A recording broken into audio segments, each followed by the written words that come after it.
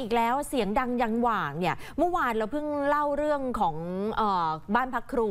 อ่าที่ภูทับเบิกเพชรบูรณ์ใช่ไหมคะว่าโอ้โหส่งเสียงดังร้องเพลงชาวบ้านเขาหลับเขานอนไม่ได้เนี่ยเป็นแบบนี้เกือบทุกอาทิตย์ มีที่บุรีรัมย์ค่ะ คราวนี้เป็นร้านคาราโอเกะค่ะชาวบ้านแถวนั้นบอกเขาไม่ได้หลับไม่ได้นอน มา 5 ปีแล้วนะ เปิดเพลงดังยันยันหว่างแบบนี้ค่ะ แล้วคนที่ไปถ่ายคลิปนี้เป็นหลักฐานเป็นคนที่บ้านอยู่แถวนั้น ซึ่งเป็นอดีตตำรวจด้วยไปดูหน่อยค่ะเสียงดังมากครับ ดังเข้าไปจนถึงในบ้านนะครับ ไม่ไม่หลับไม่นอนเลยครับ ตอนนี้เวลาประมาณหกทุ่มหกทุ่มสิบห้านาทีนะครับเสียงดังมากเลยนะครับ เสียงดังตลอดเลยนะครับ ขณะนี้นะครับ ขณะนี้เวลาตีสี่ห้าสิบแปดนาทีนะครับ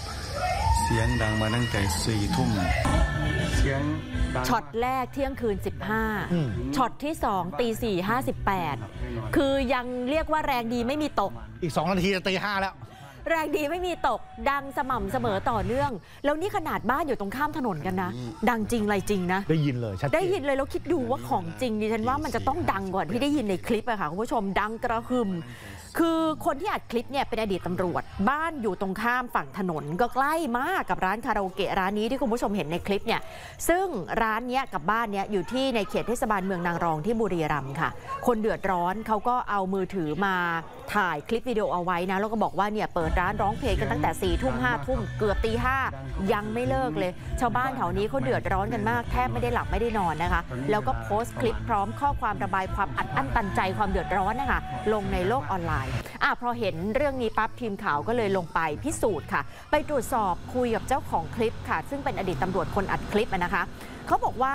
เขาเคยไปร้องเรียนหลายหน่วยงานและโอ้โหตั้งแต่ระดับอำเภอยันระดับจังหวัดนะคะพอเจ้าหน้าที่มาตรวจสอบเสียงมันก็เบาลงได้แค่สองสาวัน เสร็จกลับมาดังอีกค่ะ เป็นแบบนี้มาเรื่อยๆ ตลอดระยะเวลา 5 ปี คือยังไงร้านคาราโอเกะคงแบบว่าเอาฟ้องได้ฟ้องไป ฉันก็เบาลง2อสวันหลังจากนั้นฉันก็กลับมาดังอีกอย่างเงี้ยเหรอ ก็เขาบอกเป็นแบบนี้มาตลอด 5 ปีอะค่ะ บางวันเนี่ยมีทั้งเสียงเพลง เสียงทะเลาะวิวาทตะโกนโวยวายเรียกว่าดังยันหว่างเออแรงดีเสียงดีไม่มีตก แค่ว่าจะเป็นเสียงเพลงหรือเสียงทะเลาะกันแค่นั้นเองนะคะครับชาวบ้านที่อยู่ใกล้ๆแถวนั้นเขาบอกเขาไม่ได้หลับได้นอน บางคนเขาเครียด เพราะว่านอนไม่หลับจนต้องเข้าโรงพยาบาลนะคะคุณผู้ชม ในขณะที่บ้านบางหลังเนี่ยมีคนป่วยอยู่ในบ้านก็ทำอะไรไม่ได้ บางคนก็ไม่กล้าร้องเรียน เพราะไม่อยากจะมีปัญหาด้วยอะฟังค่ะ มันไม่ได้รับการแก้ไขครับพี่ผลครับต้องเรียนทุกท่านที่ที่อยากให้ทุกท่านได้เข้าใจว่า5ปีนะ5ปีกว่าที่ผมต้องทรมานจนภรรยาต้องเข้าโรงพยาบาลหลายรอบเพราะว่าเกิดความเครียดนอนไม่หลับกลางคืนแล้วก็ปวดหัวอะไรต่างๆเนี้ยครับครับจน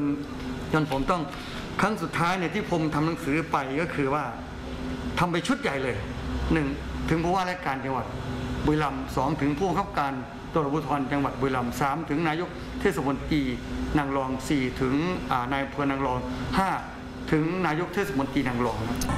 คือประเด็นก็คือว่ามันกลับมาเป็นเหมือนเดิมตลอด 5 ปีเนี่ยล่าสุดเมื่อคืนที่ผ่านมาเห็นว่าปลัดอาวุโสอำเภอนางรองกับตำรวจเนี่ยไปตรวจสอบที่ร้านนะคะ แล้วก็เจ้าของร้านอายุ 43 ปีเอาใบอนุญาต มาให้ดูบอกว่าก็ไม่ได้อยู่ร้านตลอดบางที ก็ไม่รู้ว่าเขาทะเลาะกันเสียงดงเสียงดังอะไรอย่างเงี้ยส่วนเรื่องเปิดเพลงเสียงดังก็เตือนพนักงานไปแล้ว และขอโทษ ชาวบ้านแถวนี้ด้วยนะคะ ตอนนี้เขาบอกเขาเตรียมย้ายร้านไปที่อื่นแล้วนะ แต่ขอเวลานิดหนึ่งค่ะเออ ทางเราก็คือพยายามจะย้ายย้ายออกจากพื้นที่นี่ก็จะปิดร้าน ปิดร้านแล้วก็คือให้มันสบายใจทั้งสองฝ่าย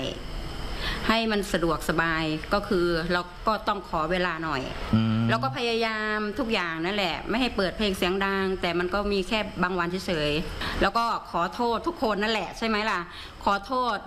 เพราะว่าเราก็ผิดจริง ๆ อีกคนหนึงที่ต้องผิดคือเจ้าหน้าที่ผมว่านะ เออ ถ้าเจ้าหน้าที่จะเอาจริงทำไมจะทำไม่ได้ เออ 5 ปีนะฮะ แต่ประเด็นคือเขาบอกเขาจะย้ายร้านแต่ว่า 5 ปีผ่านมายังหาที่ย้ายไม่ได้นะ ก็อะก็เดี๋ยวรอดูแล้วกันจะเป็นยังไง นี่กฎหมายเปิดถึงตีสี่ยังไม่ออกมาเลย เขาเปิดได้ถึงแค่ตีสองนี่ตีห้าไปแล้ว บางทีเป็นบางพื้นที่ด้วยนะ ไม่ใช่พื้นที่ท่องเที่ยวอะ แล้ว 5 ปีแล้วช่วงโควิดยังเปิดอีกเหรอนั่นน่ะสิ เออเห็นไหม ข่าวช่อง 8 ครบเครื่องเคียงข้าง